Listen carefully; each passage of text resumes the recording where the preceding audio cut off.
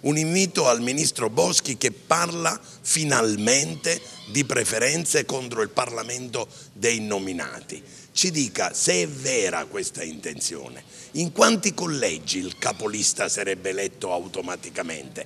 Con la legge attuale 120 in ogni partito, dove finirebbero le preferenze? Nell'annunzio senza conseguenze? In base a questo capiremo se davvero c'è la volontà di introdurre la scelta dei cittadini e di non far decidere tutto, come sempre, ai capi partito.